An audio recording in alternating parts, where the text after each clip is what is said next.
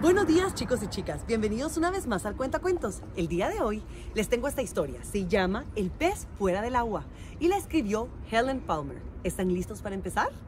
Empecemos. Un día un niño quería comprar una mascota y estaba pensando dónde podré conseguir una, una que me encante. Y decidió ir a visitar la tienda de mascotas de el señor Carp. Miren, aquí está. ¿Ya vieron? Cuando llegó, empezó a ver todos los animales. Habían perros, habían gatos, habían tortugas, pero de pronto vio un pez y dijo, esa es mi mascota. Así que llegó y le dijo, señor Carp, disculpe, yo quiero ese pez que está por ahí. Y lo voy a llamar Otto. Entonces el señor Carp le dijo, muy bien, te voy a vender el pez, pero es importante que escuches esta instrucción. Le debes dar de comer esto y nada más esto, porque si le das más, algo puede suceder. El niño pensó, ¿algo puede suceder? ¡Qué extraño! Entonces le pusieron a Otto en una pecera y el niño lo llevó a su casa. Cuando llegó a su casa, él dijo, ay, creo que Otto tiene un poco de hambre. Le voy a dar de comer. Así que abrió la comida, agarró solo un poco y un poco nada más y se la dio de comer. Pero ¿qué creen ustedes? Otto tenía mucha hambre y se lo comió rapidísimo. Creo que Otto quiere más comida, creo que, que tiene más hambre. ¿Saben qué? Le voy a dar solo un poquito más. Y entonces el niño le dio vuelta toda la comida de Otto. ¿Y qué creen que pasó? Chan, chan, chan, chan. Cuando Otto se la terminó de comer, ¡pum! creció. De pronto estaba tan grande que ya no cabía en su pecera. Así que el niño ¡plup! lo pasó a un florero. ¡Ay, ahora sí cabe Otto! ¡Plup! Volvió a crecer. Ahora Otto ya era demasiado grande, ni siquiera cabía en la pecera, en el florero. ¡Pum! De repente Otto volvió a crecer, ya no cabía en el florero tampoco. Así que el niño llegó a la cocina y lo puso en la olla más grande que encontró. Pero Otto ya era demasiado grande también para esa olla. Lo fue pasando de olla a otra, a otra, cada vez más y más grande.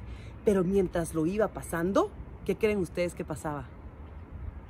Otto seguía creciendo. Así que el niño con mucho esfuerzo lo levantó ¡ah! y se fue corriendo para arriba hasta que subió al baño. Y entonces puso a Otto en la tina. Y al principio Otto estaba muy cómodo ahí. Le puso agua y estaban muy contentos. El niño ya se sentía más tranquilo.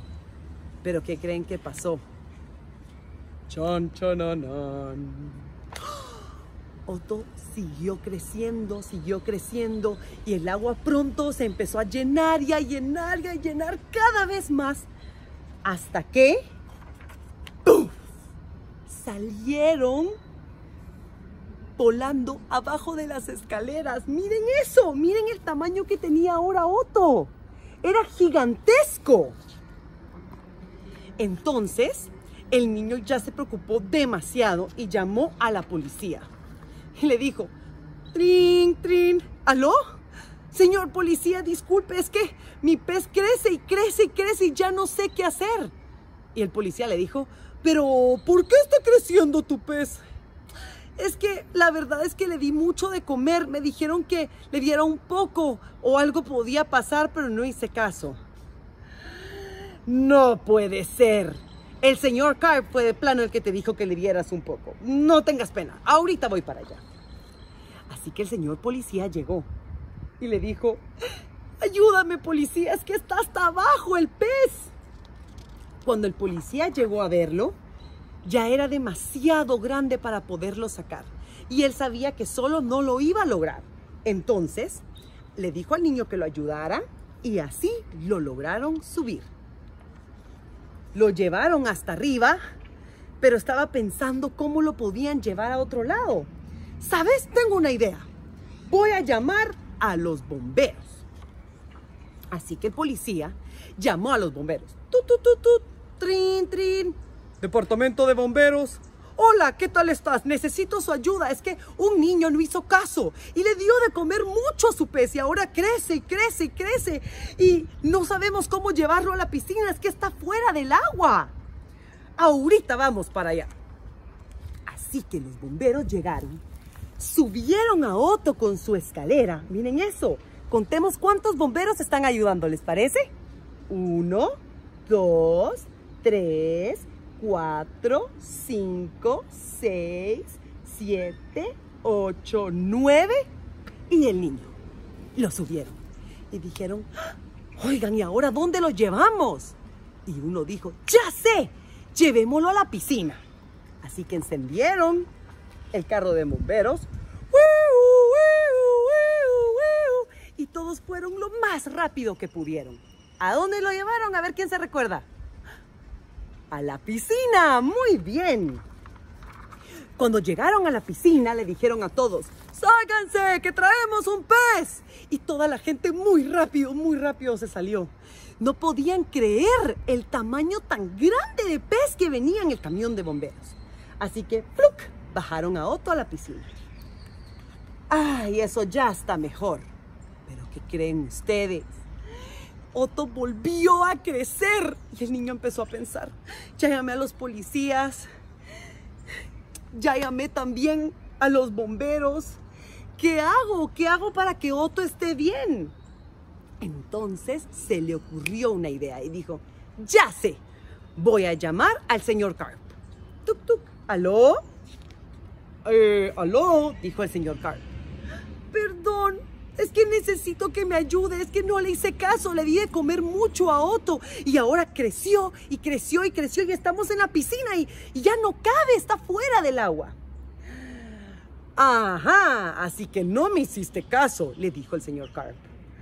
Ah, ya sabía que iba a pasar, nunca me hacen caso con esto, pero no te preocupes, ahora mismo voy para allá. El señor Carp se fue corriendo a la piscina se puso su calzoneta y llevaba una net muy pequeña. Quiero que la vean acá ustedes, ya la vieron. Y entonces, sin decir nada, se metió con un chapuzón a la piscina. ¡Pluc! Todos estaban esperando qué podía pasar. ¿Será que Otto se iba a salvar? De pronto, Otto se hundió. ¿Qué estaría pasando ahí abajo? Pensaron todos. Ya no se miraba nada en el agua. Y el niño estaba preocupado. ¿Será que voy a volver a ver a Otto? ¿O al señor Carp? ¿Será que están bien? Y entonces lo empezó a llamar. ¡Señor Carp! ¡Señor Carp! A ver, ayúdenme. Muy fuerte. ¡Señor Carp! ¡Señor Carp! ¿Estás bien? Y de pronto...